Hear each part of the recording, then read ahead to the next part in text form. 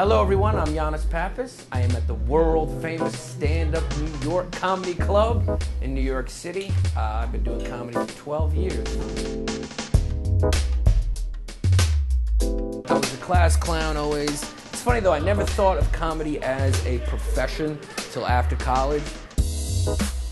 To make it look effortless takes a lot of time. So the hardest thing about comedy is actually doing comedy because you have to do it a lot. You can't you can't just get up on stage. I think people think like comedy because comedy is one of those things that looks so easy.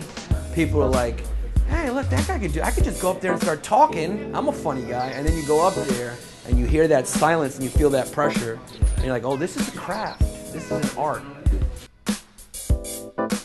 It's a tightrope walk, man. It can go one way. That's why comedy is such an exciting experience for people because it is a tightrope walk. Sometimes it's fun to just watch somebody crash and burn.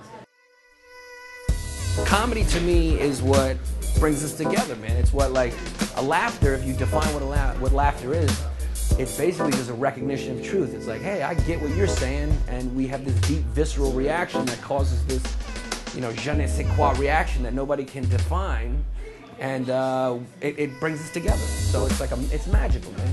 Comedy nothing more powerful than comedy.